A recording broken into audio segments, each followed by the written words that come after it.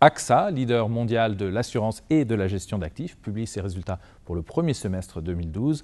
Henri de Castres, bonjour. Bonjour. Vous êtes le président directeur général d'AXA. Quel bilan faites-vous de ce premier semestre 2012 Écoutez, je pense que ce sont des résultats très satisfaisants dans un environnement qui est resté difficile. Vous savez que le second semestre de l'année dernière avait été euh, difficile à cause de la crise européenne. Cette crise européenne s'est poursuivie pendant le premier semestre de cette année. Et malgré cet environnement, nous enregistrons des résultats qui sont en légère progression ou stables selon les indicateurs que l'on euh, prend. Si vous regardez le résultat opérationnel, il est en légère progression. 80% de ce résultat vient d'activités qui sont euh, peu sensibles à l'environnement financier, l'assurance dommage, la santé et la prévoyance, où nous enregistrons de belles progressions, même sur l'épargne et l'asset management, qui euh, est un segment, lui, plus affecté par la crise, notre niveau de profitabilité reste bon. Le résultat total, lui, si euh, on le retraite des éléments liés euh, aux plus-values exceptionnelles que nous faisions l'année dernière pour avoir cédé des activités, il est stable, ce que nous considérons être une bonne performance dans un environnement qui reste très difficile. Le bilan est un bilan très solide, ce qui est important pour une institution financière dans une conjoncture comme celle que nous euh, connaissons. Les ratios de solvabilité sont à des niveaux très élevés. Leur plus haut historique pour le ratio qu'on appelle solvabilité 1, euh, un niveau qui est très confortable pour le ratio de solvabilité 2, qui est le ratio selon lequel on nous mesurera dans le futur si euh, les réformes envisagées sont adoptées. Donc au total, une bonne performance dans un environnement qui n'était pas favorable. Comment avez-vous progressé dans la réalisation de votre plan stratégique Ambition AXA? Eh bien, euh, malgré encore une fois un environnement qui est plutôt un environnement fait de vent contraire, nous progressons sur les trois fronts. Euh, le front de la sélectivité, le front de l'accélération et le front de l'efficacité. Sur la sélectivité, comme je le disais tout à l'heure, les activités sur lesquelles nous avons voulu mettre l'accent, l'assurance dommage, la santé et la prévoyance progressent.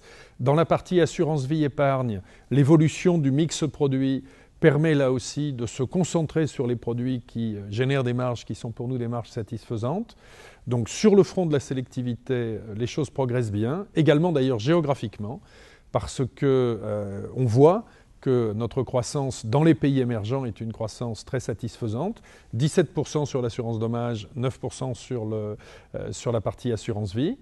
Euh, sur le front de euh, l'efficacité, nous continuons à générer des économies ou de la productivité de manière parfaitement en ligne avec ce qu'est notre plan de, de, moyen terme Ambition AXA.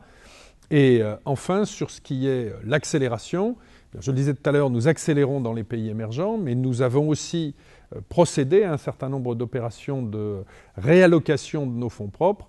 J'en prendrai pour exemple euh, au cours de ce, euh, de ce semestre l'opération que nous avons faite de rachat des activités d'assurance dommage d'HSBC ou le lancement officiel maintenant de notre joint venture en Chine avec ICBC qui est la plus grande banque chinoise.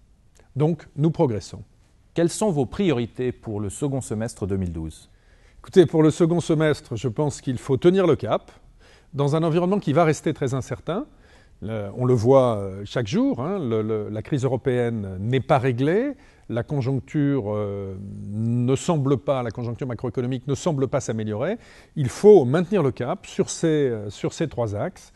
Donc l'axe de la sélectivité, il faut que nous continuions à revoir le mix de nos produits, à pousser euh, les géographies, les modes de distribution, les territoires sur lesquels nous avons une demande forte des clients à des conditions qui sont satisfaisantes pour nous. Euh, il faut que nous poursuivions nos efforts d'efficacité. Un des grands chantiers du groupe aujourd'hui, c'est ce que nous appelons la digitalisation, c'est-à-dire comment euh, utiliser Internet pour améliorer la qualité du service aux clients et accessoirement réduire nos coûts et donc rendre nos produits plus, plus abordables.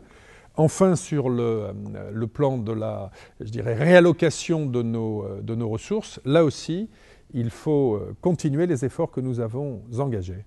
Henri de Castres, président directeur général d'AXA, je vous remercie. Merci.